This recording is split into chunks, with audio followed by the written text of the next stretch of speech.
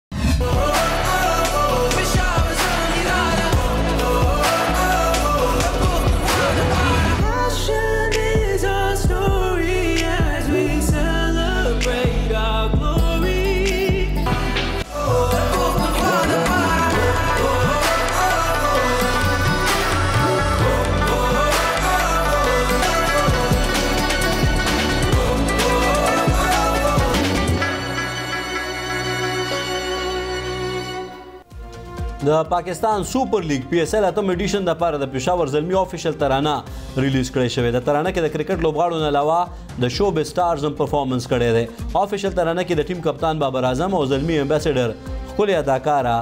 ماهرا خانم شریک شوې ده د ترانې ریلیز کېدو سره د زلمی مینوالو د ترانې هرکلی او ستاینه کړې ده